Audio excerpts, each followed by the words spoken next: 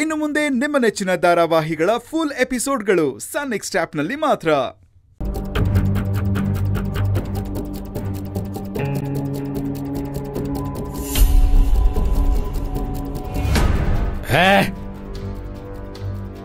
ಯಾರಿದು? ಇಷ್ಟೊಂದು ಡಿಸ್ಟರ್ಬ್ ಮಾಡ್ತಾ ಇದ್ದಾರೆ? ಹಾ ರಾಕೇಶ, ನೀನಾ? ಓ, ಸಾಹೇಬ್ರು! ಸಾಹೇಬ್ರು ದುಡ್ಡು ತರ್ತೀರ ಅಂತ ಹೇಳಿದ್ರು. ಬೇರೆ ಕೈಲಿ ಅಲ್ಲಾಡ್ಸ್ಕೊಂಡ್ ಬಂದಿದ್ದಾರೆ.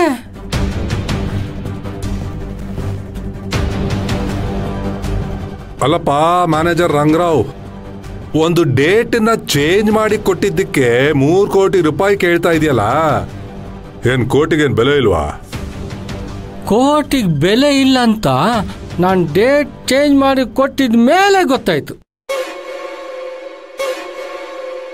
ನಿಮಗೆ ಬರ್ತಾ ಇರೋ ಮುನ್ನೂರು ಕೋಟಿ ಏನು ದುಡ್ಡಲ್ವಾ ಸರ್?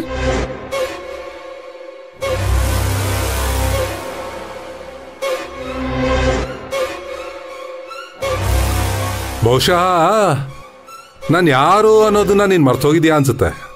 ಓ ಗೊತ್ತಾಯ್ತು ಬಿಡಿ. ನೀವು ಲಾಯರ್ ಸಾಹೇಬ್ರಲ್ವಾ? ನೀವೇ ತಾನೇ ಅವತ್ತು ಡಾಕ್ಯುಮೆಂಟ್ಸ್ ಚೇಂಜ್ ಮಾಡಿಸ್ಕೊಳಕ್ ಬಂದಿದ್ದು. ನಾನು ಬರೀ ಲಾಯರ್ ಅಷ್ಟೇ ಅಲ್ಲ ರಾಕೇಶನ್ ಮಾವ ಕೂಡ. ಓ ಹೆಣ್ಣು ಕೊಟ್ಟು ಮಾವ ಕಣ್ ಕೊಟ್ಟು ದೇವ.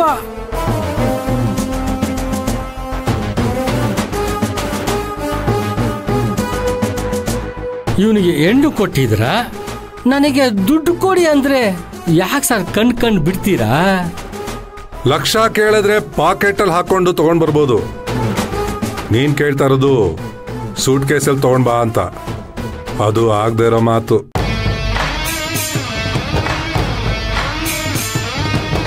ಅದು ಅಲ್ಲದೆ ನೀನು ಡಿಮ್ಯಾಂಡ್ ಮಾಡ್ತಾ ಇರೋದು ಲಾಯರ್ ಹತ್ರ.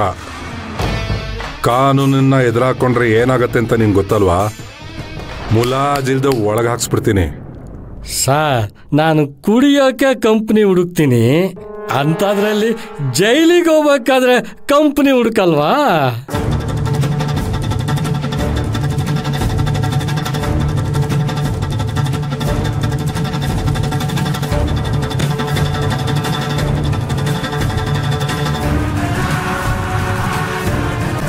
ನನ್ನ ಜೊತೆ ನಿಮ್ಮ ಅಳಿಯನೂ ಬರ್ತಾನೆ. ಸ್ವಲ್ಪ ಎಡವಿದ್ರೆ ನೀವು ಬರ್ತೀರಾ?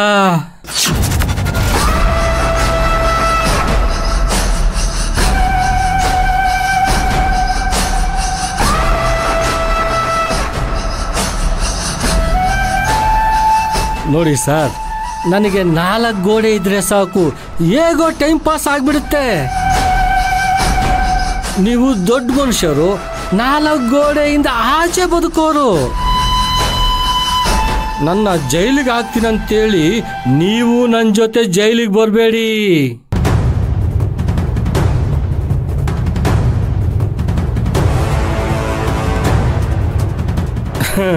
ಇದರಿಂದ ಇಬ್ಬರಿಗೂ ಪ್ರಯೋಜನ ಇಲ್ಲ. ಏನು ಹೆದರ್ಸ್ತಾ ಇದೆಯಾ? ಅಯ್ಯೋಯ್ಯೋ ಮಕ್ಕಳು ಎದುರಿಸಿದ್ರೆ ಚೈಲ್ಡ್ ಅಬೂಸ್ ಕೇಸ್ ಅಂತ ಬುಕ್ ಮಾಡಿ ಒಳಗಾಗ್ತಾರಂತ ನನ್ನ ಆಶ್ರಮದ ಮಕ್ಕಳನ್ನ ನಾನು ಎದುರಿಸಲ್ಲ? ಅಂಥದ್ರಲ್ಲಿ ನೀವು ಕ್ರಿಮಿನಲ್ ಯಾರು? ನಿಮ್ಮನ್ನ ನಾನು ಎದುರ್ಸಕ್ಕಾಗುತ್ತಾ? ಜಾಸ್ತಿ ಮಾತು ಬೇಡ ಸರ್. ನನಗೆ ದುಡ್ಡು ಯಾವಾಗ ಕೊಡ್ತೀರ ಅದನ್ನ ಹೇಳಿ. ನೋಡ್ರಂಗರಾವ್ ಮೂರು ಕೋಟಿನ ಎಣ್ಸೋದಕ್ಕೆ ಅರ್ಧ ದಿನ ಬೇಕಾಗತ್ತೆ. ಅಂಥದ್ರಲ್ಲಿ ನೀನ್ ದಿಢೀರಂತ ತಗೊಂಡ್ ಬಂದ್ಬಿಡು ಅಂದ್ರೆ ಆಗುತ್ತಾ? ಬೇಕಾದ್ರೆ ನೀನು ನನ್ನ ಮನೇಲಿ ಬಂದಿದ್ಬಿಡು ನಾನೇ ನಿಂಗೆ ಸೆಟಲ್ಮೆಂಟ್ ಮಾಡ್ತೀನಿ. ವ್ಯಾಪಾರನ ಮಂಡ್ಯಲ್ಲಿ ಕೂತ್ಕೊಂಡು ಮಾಡಿದ್ರೆ ಸರ್ ಲಾಭ ಮಾಡ್ಕೊಳಕ್ಕಾಗೋದು ಎಲ್ಲೋ ಮನೇಲಿ ಕೂತ್ಕೊಂಡು ಮಾಡಿದ್ರೆ ಅದು ವ್ಯಭಿಚಾರ ಆಗುತ್ತೆ.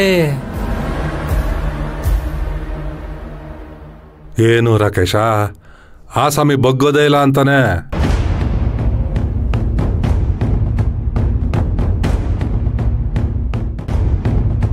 ಅಲ್ಲ ಅಲ್ಲಪ್ಪ ರಂಗರಾವ್ ಇಷ್ಟು ವರ್ಷ ನೀನು ಇವನನ್ನ ಆಶ್ರಮದಲ್ಲಿ ನೋಡ್ಕೊಂಡಿದ್ಯಾ?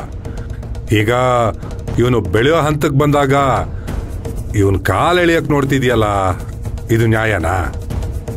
ನನಗೆ ಇವನ ಮೇಲೆ ನಂಬಿಕೆ ಇಲ್ಲ, ಸರ್. ನಾನು ಇವನಿಗೆ ಏನೆಲ್ಲ ಸಹಾಯ ಮಾಡಿದ್ದೀನಿ ಕೇಳಿ? ಈ- ಈ ಕುರುಡನಿಗೆ ಕಣ್ಣು ಬಂದಾಗ ಮಾಡೋ ಮೊದಲ ಕೆಲಸ ಏನು ಹೇಳಿ ಇಷ್ಟು ದಿನ ಜೊತೆಯಾಗಿದ್ದು ದಾರಿ ತೋರಿಸಿದ ಕೋಲ್ನ ಬಿಸಾಕೋದು.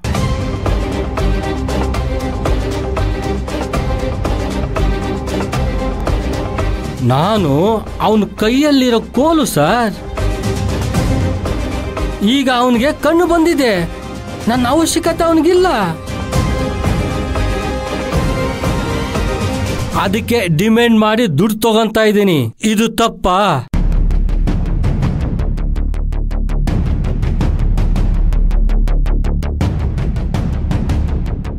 ಡ್ಯಾಡಿ ಹಾಳಾಗೋಗ್ಲಿ. ಅದೇನ್ ಕೇಳ್ತದೇನೋ ತಗೊಂಡ್ ಬಂದು ಕೊಟ್ಬಿಡಿ. ಆಮೇಲೆ ಹೇಗೂ ದುಡ್ಡು ಬರುತ್ತಲ್ವಾ? ಏನೋ ಒಂದು ಸೆಟ್ಲ್ಮೆಂಟ್ ಮಾಡ್ಕೊಳ್ಳೋಣ. ಆಯ್ತಮ್ಮ. ಇನ್ ಮಾತಾಡಿ ಪ್ರಯೋಜನ ಇಲ್ಲ. ನೋಡ್ರಂಗರಾವ್ ನಂಗೊಂದು ಎರಡು ದಿನ ಟೈಮ್ ಕೊಡು. ನಿನ್ನ ದುಡ್ಡನ್ನ ನಿನಗೆ ತಂದು ಕೊಟ್ಬಿಡ್ತೀನಿ. ಎರಡು ದಿನ ಆದರೆ ಬರೀ ಮೂರು ಕೋಟಿ ಬರುತ್ತೆ ಸರ್. ಅದಕ್ಕೆ ನಾಲ್ಕು ದಿವಸ ಟೈಮ್ ತಗೊಳ್ಳಿ. ಒಟ್ಟಿಗೆ ಆರು ಕೋಟಿ ಕೊಟ್ಬಿಡಿ.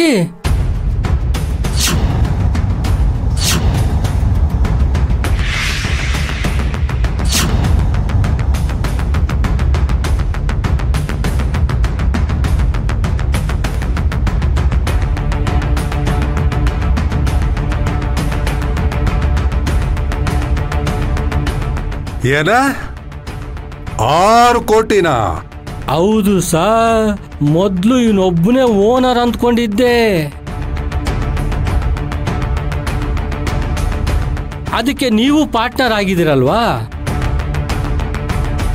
ಅದಕ್ಕೆ ಅವನ್ ಮೂರು ಕೋಟಿ ನೀವು ಮೂರು ಕೋಟಿ ಒಟ್ಟು ಆರು ಕೋಟಿ ಕೊಟ್ಬಿಡಿ. ರಂಗರಾಯ ಇದ್ಯಾಕೋ ನಿನಗೆ ಅತಿ ಆಯ್ತು ಅಂತ ಅನಿಸ್ತಾ ಇಲ್ವಾ? ಸರ್ ಮೀನು ಬದುಕಿರುವಾಗ ಒಂದು ರೇಟ್ ಇರುತ್ತೆ, ಸತ್ತಿರುವಾಗ ಒಂದು ರೇಟ್ ಇರುತ್ತೆ. ಈಗ ನಿಮ್ಮ ಮ್ಯಾಟ್ರ್ ಬದುಕಿದೆ, ಅದಕ್ಕೆ ರೇಟ್ ಜಾಸ್ತಿ.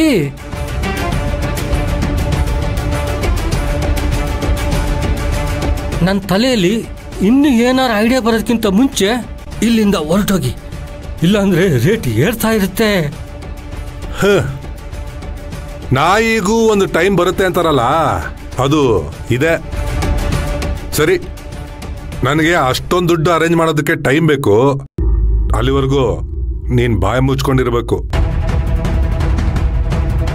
ಅಲ್ಲ ಮಾವ, ನೀವು ಆರು ಕೋಟಿ ಕೊಡ್ತೀರಾ ಇವನ್ಗೆ?